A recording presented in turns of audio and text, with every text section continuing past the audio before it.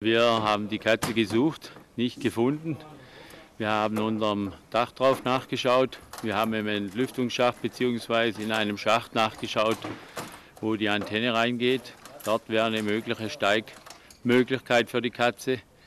Als wir übers Dach hochgingen, haben wir kein Läuten, kein, kein Schreien, kein Muhen, kein Miauen mehr gehört. Ich denke, wir können nicht einfach Verdacht aufmachen, aber die Katze sitzt mit Sicherheit irgendwo unterm Dach. Jetzt ist die Frage natürlich, was für einen Akt machen wir, sprich, nehmen wir das Dach runter, aber das können wir zu dieser Stunde nicht machen. Ich habe jetzt der Katzbesitzerin gefragt, beziehungsweise empfohlen, dass sie morgen einen Handwerker holt, wenn sie morgen das Miauen wieder hört und wenn die Katze bis da nicht rausgekommen ist.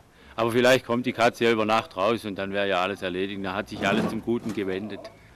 Mehr kann die Feuerwehr heute Abend nicht tun, leider Gottes.